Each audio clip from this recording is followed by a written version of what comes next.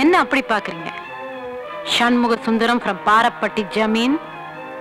இப்படி ஒரு சஸ்பென்ஸ் நீங்க எதிர்பார்க்கல இல்ல?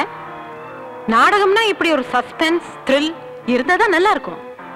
எனிவே இப்ப வரைக்கும் நீங்க ஏத்துக்கிட்ட கேரக்டர் நடிப்பு ரொம்ப ஒரிஜினலா இருந்தது. ஏன்னா என்னையே அசத்திட்டீங்களே? இல்ல ஏமாத்திருக்கீங்க. திருவாளர் மாணிக்கம் இப்படி எல்லாம் நாடக உங்க பரம்பரையை ஏன் ஸ்டேட்டஸோட இணைக்க பாத்தீங்களே இதுதான் இந்த டிராமாலேயே பிரமாதமான காமெடி. இந்த ஆளை கல்யாணம் பண்ணதே நான் கேவலமா நினைக்கிறேன். அதே பரம்பரையில வந்த நீ என் பொண்ணுக்கு மாப்பிளையா நெவர் நான் பட்ட கஷ்டம் எல்லாம் போதும் என் பொண்ணு பட வேண்டாம். நீங்க எல்லாம் சாப்பாட்டு உப்பு போட்டு சாப்பிடுறவங்க தானே? கொஞ்சமாவது மானம் ரோஷம் இருந்ததுன்னா இந்த நிமிஷமே இந்த வீட்டை விட்டு கிளம்புங்க. இல்லைன்னா கழுத்தை பிடிச்சி வெளியில தள்ள வேண்டி இருக்கும் I say you all get out நில்லு, நில்லு, நில்லு, என்ன நீங்க பாட்டு பேசிட்டு போயிட்டு இருந்தா என்ன அர்த்தம்? ஆ? பேச வேண்டிய விஷயம் என்ன எவ்வளவு இருக்குது? ஆமா ஏன் அவர் அவ்வளவு கேவலமா பேசுறீங்க? ஆ? நல்ல ஆள் தானே? அவர் என்ன கேப் மாதிரியா முல்ல மாதிரியா இல்ல முடிச்ச வைக்கியா? பாக்குறது கொஞ்சம் அப்படித்தான் இருப்பாரு. ஆனா மனசு கோல்டு கேரக்டர் ஓகே வேற எங்க அடிக்குது?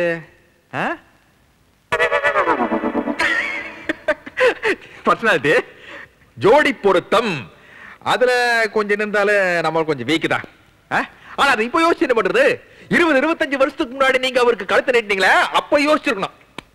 அப்பயே நீங்க யோசிக்கல? ஆ, அன்னைக்கு நம்மால் சவுண்ட் பார்ட்டி இல்ல. உங்களை விட சொத்து பத்தெல்லாம் கொஞ்சம் அதிகமா இருந்தது. அதனால அந்த பர்சனாலிட்டி கண்ணுக்கு தெரியல.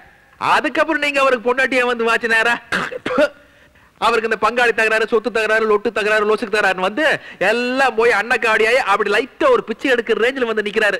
அதனால உங்களுக்கு அவர் பார்த்தா ஒரு அருவருப்பா கேவலமா தெரியுதுல்ல? அது தெரியத்தான் செய்யும் சரி விடுங்க அது உங்க பிரச்சனை. நம்ம பிரச்சனைக்கு வருவோம். எனக்கு தெல்ல தெளிவா டெஃபினட்டா தெரியும். என்னைக்காச்சும் ஒரு நாள் நாம மாட்டிக்குவோம். அதுக்கு முன்னாடி உங்ககிட்ட ஆசீர்வாதம் வாங்கிட்டு அம்முடைய கூப்பிட்டு ஊருக்கு போயிடலாம்னு நான் நினைச்சேன். ஆனா இவ்வளவு சீக்கிரம் மாட்டிக்குவேன் நான் நினைக்கவே இல்லை. ஓகே. ஆனதாகி போச்சு. அது ஒன்றும் ஒரு பெரிய பிரச்சனை இல்ல. அப்படி கூப்பிடுங்க. அடுத்த பஸ்ல என்ன ஊருக்கு போயிரு. எத்தனை நாளைக்கு ஓச்சரி சோறுங்கிறது அப்படியோ ஒய் இல்லை பண்ணி. எவ்வளவுதான் காது கிழிய கத்துனாலும் அவ வரமாட்டா.